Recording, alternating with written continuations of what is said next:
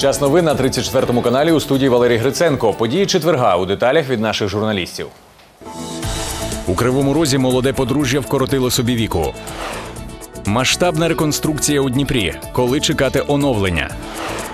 На Дніпропетровщині водіїв маршруток одягнуть як депутатів.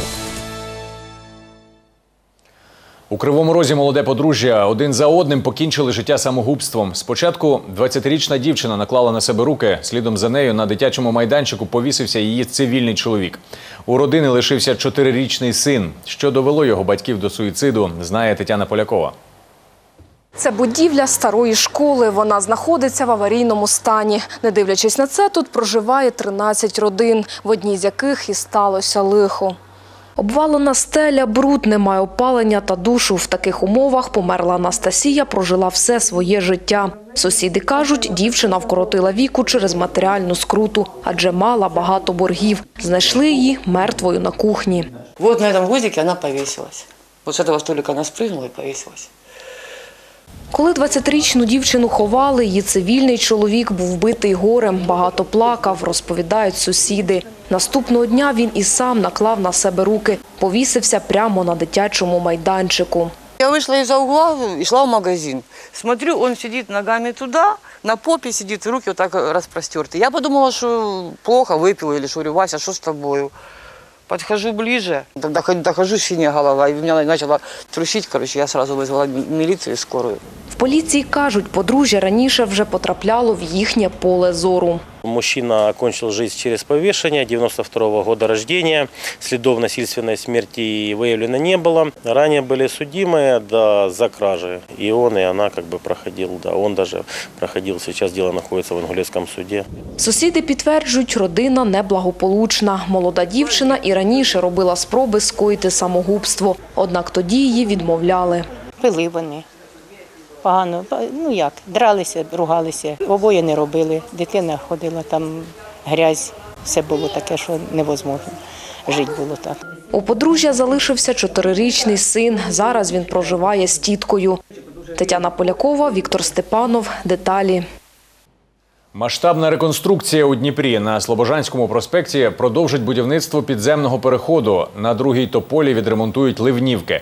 Та поки роботи на обох об'єктах не розпочаті. Чому та коли чекати на оновлення, розкаже Маргарита Потапова. Марина працює у перукарні напроти покинутого підземного переходу, що на перехресті Калінової та Слобожанського проспекту. Майстер жаліється на сміття, яке регулярно викидали в покинуту яму. До того ж, неодноразово помічала там наркоманів. покупают шприцы, это они делают открыто и ходят туда. У них одни приносят, другие уже уносят. И они это делали не стесняясь. Поэтому мы один раз э, сделали вызов в полицию. Рух на проспекті досить перевантажений як машинами, так і пішохідними зонами. Три підземки не рятують ситуацію. За проектом новий перехід об'єднають з іншими та звільнять проїзд для автомобілів. У цьому впевнений міський голова. Целесообразность этого долгостроя, его окончания работ э, в первую очередь лежит в плоскости безопасного дорожного движения. Я думаю, в течение трех месяцев э, все работы будут произведены, э, финансирование выделено, это 2,6 миллионов гривен. Після відновлення перехід називатиметься Калинівський. Пішоходи реконструкцію підземки схвалюють. Часто хожу, и представьте себе, очень неудобно переходить, стоять вот так вот и ждать, пока не переедет транспорт. Будет очень хорошо, если это правда, а не очередные наши обещания. Гроші виділили не тільки на підземний перехід, а й на ливнівки для житлового масиву Тополя-2. Тут проходить виїзна робоча нарада. Головний комунальник міста Михайло Лисенко доповідає, роботи розпочнуть вже з наступного тижня. По территории жилмассив Тополь-2 у нас вообще отсутствует ливневая канализация как таковая. Мы приступаем к работе с понедельника. В результате этого проекта у нас будет э, заменено э, 100 тысяч квадратных метров асфальта, э, 6 километров устройств будет сделано 6 километров ливневой канализации, построено новой. Це дозволить уникнути підтоплення ґрунту, тим самим не допустити трагедії, яка сталася у 97-му. Тоді через сув будинок пішов під землю, а тисячі людей залишились без даху над головою. Того ж року на другій тополі відкрився дитячий будинок номер один, згадує його директор. Это 19 лет назад, как раз когда был оползень там. Это вообще страшная вещь. А вот здесь сейчас получается, что прошло время, как-то все это утихло, улеглось. И очень много ливневок вот здесь по нашей тополиной. просто заасфальтированы. Дитячий будинок розташовується внизу. Під час дощу потоки води заливають його територію. До середини листопада, обіцяють чиновники Ливнівки, повністю реконструюють. Ціна питання – 53 мільйони гривень. Мешканці району такому оновленню раді. Боюсь, что дом может проседать, конечно, боюсь. Если будут, это очень хорошо, безусловно. Підрядна організація, що займатиметься ремонтом ливнівок, вже закупила усе потрібне обладнання. Закінчити роботи на обох об'єктах планують до кінця року. Маргарита Потапова, Сергій Кочет. Деталі. Без зарплати 11 місяців сьогодні метробудівці збиралися провести мітинг, але їх стримали обіцянкою виплатити борги. Нагадаємо, акціонерне товариство Дніпрометробуд завинило своїм співробітникам близько 11 мільйонів гривень. Але борги за керівництво погодилася погасити міська влада до 15 серпня. У нас есть договоренность с ними о выработке финансовой схемы, которая, в принципе, их оставила удовлетвор- удовлетворенными по закрытию в полном объеме задолженности по их заработной плате с сентября прошлого года.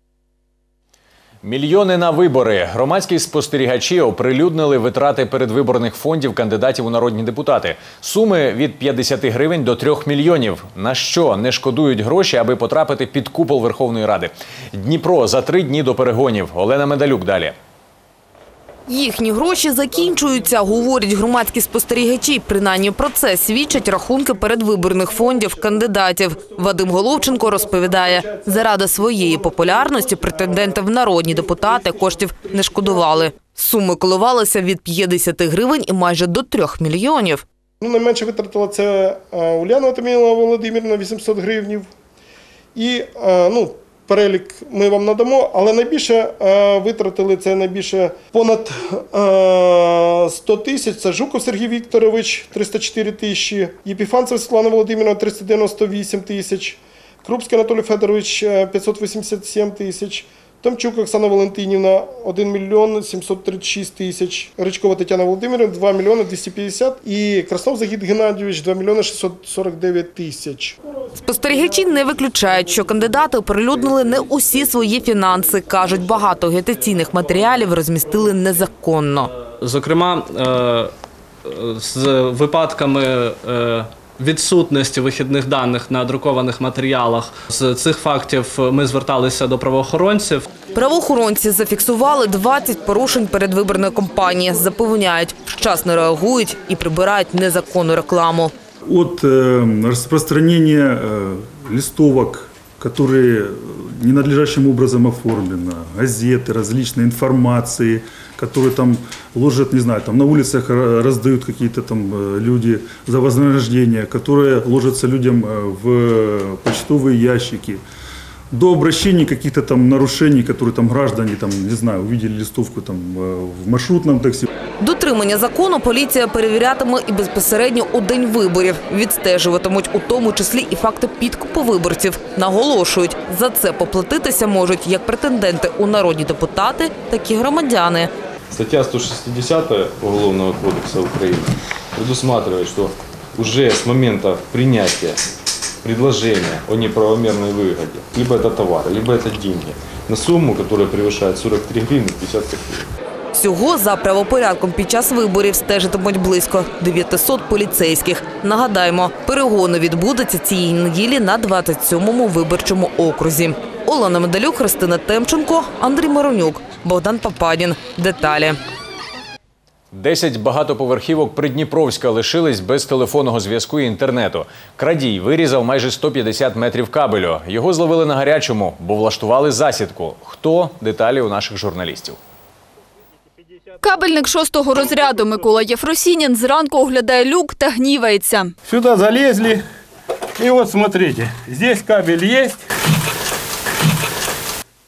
А с второй стороны его там уже нету. Кабель на космонавтів 22 вирізали приблизно о четвертій ранку. Зловмисника затримали на гарячому. У ранее неоднократно судимого мужчины 76 года рождения была изъята кабельно-проводниковая продукция 100 метров, а также инструменты для демонтажа. Цей випадок у Передніпровську не поодинокий, кажуть у телефонній компанії. Статистика цього року вражає. За добу майже 70 крадіжок кабелю по регіону. Та й на цьому місці не вперше. В том месте с начала года это порядка десятый случай уже, который там происходит. Аналогичный период времени с начала года. В прошлом году мы зафиксировали по области порядка 2000 инцидентов таких.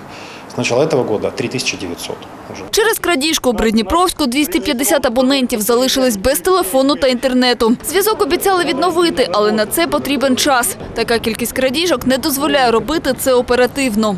Потому что, в общем-то, это достаточно тяжелый объем работ. э, И восстановить медный кабель э, это, это большая работа. В это затягивается кабель, и вот в этих люках, в смотровых устройствах, сидят один человек, это больше не, не поместится, это невозможно, и восстанавливает, монтирует муфты, перемонтирует кабель. На правоохоронців сподівайся та й сам старайся, кажуть у телефонній компанії. Із крадіями кабелю вирішили боротися інноваціями. Незабаром планують оновити всю мережу у місті, а також замінити частину мідних кабелів на оптоволокно. Сподіваються, що таким чином проводи стануть нецікаві злодіям. Проведена компанією модернізація покращить технічну інфраструктуру міста та надіються, що місцева влада надасть необхідну підтримку. Наталя Трофімова, Олександр Лаур та Євген Дрозд. Деталі. За кермом, як у депутатському кріслі, водіїв маршруток одягнуть у солідну форму. Таку ідею автоперевізникам запропонувала обласна влада. Дехто вже приймає пасажирів у новому вбранні. Як тепер виглядатимуть маршрутники? Дивіться тему дня від наших журналістів.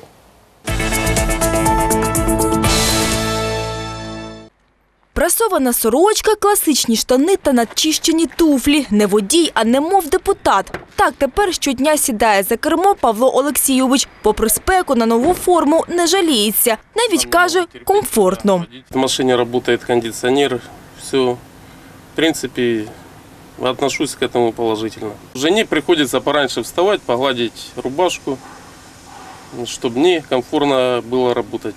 Водійська уніформа – ідея не нова, а забути стара, кажуть обласні чиновники. Саме вони запропонували перевізникам відновити традицію та причепурити своїх підлеглих. Щоправда, гроші з бюджету на це не виділятимуть, бо автопідприємства приватні. Это имидж самого предприятия, поэтому, естественно, это все делается за ими, ими же, за их собственные средства. Каждый будет разрабатывать форму на свой, так сказать, вкус и цвет. А Единственное как бы, условие, которое оговаривается, это о том, чтобы на форме обязательно должен присутствовать логотип автопредприятия. Тут весь вопрос заключается в том, кто сколько готов, э, так сказать, вложить в это, в это дело. У скільки обійдеться обновка водіїв, автоперевізники не говорять. Про зимову форму, кажуть, навіть поки і не думають. А ось літні вбрання підрахували, потягнуть. Одно дело купить рубашку, а другое дело купить куртку. Ну, это бьет по карману. Если бы эта рубашка стоила миллион, тогда можно говорить, что да, мы не можем колеса купить, и- ну и так далее. Рубашка, рубашка, ну, на сегодняшний день вы прекрасно знаете, что стоит там от 150 до 300 гривен. Водитель не должен выезжать на линию в трусах и в тапочках. Водитель должен быть опрятный, чтобы пассажиру было приятно. Це підтверджують і самі пасажири. Важно посмотреть на водителя, какой он аккуратный, опрятный, в голубой рубашечке, чистенький. Не сильно красиво, когда сидит э, в шортах, там лучше, когда в форме такой. В принципе, это правильно, так как э, в там, европейских странах все люди, когда работают, они одеты по форме. Побачити своїх водіїв у новому вбранні зможуть і мешканці Кривого Рогу. Щоправда, там тільки планують це нововведення. Кажуть, в цілому уніформа буде схожа на ту, що і в Дніпрі. Однак дизайн одягу хочуть наблизити до кольору руди, якою славиться місто. Також додадуть герб Кривого Рогу. На сегодняшний день э, проводится работа по изучению дизайна, разработке этого дизайна, одежды для наших водителей. И мы э, планируем в течение месяца э, обеспечить и э, попытаться, чтобы наши водители э, ездили на маршрутах в этой форменной одежде. На відміну від дніпровських, деяким криворізьким пасажирам байдуже, у чому водій за кермом. Головне, кажуть, аби довіз, куди треба. Без разницы, почему Жара, белая рубашка, она будет черная. Я работаю проводником, и знаете, как-то двое суток в работе, это некрасиво. Самі ж водії розділились на два табори. Водитель должен отличаться от всех остальных. Чтобы удобно было и красиво, и все. Да нам все равно, лишь бы, если бы дорога будет хорошая, мы будем что угодно, хоть в скафандрах ездить. У У нову форму одягнуть поки що тих, хто працює на міжміських та приміських маршрутах. Але власники автопідприємств не виключають. Якщо знайдуть кошти, причепурять усіх водіїв області. Та це визнають самі перевізники. Основних проблем не вирішить. Автобуси, що возять пасажирів, треба ремонтувати, а запчастини до них коштують чимало. Інга Учкіна, Тетяна Полякова, Сергій Кочет, Віктор Степанов. Деталі.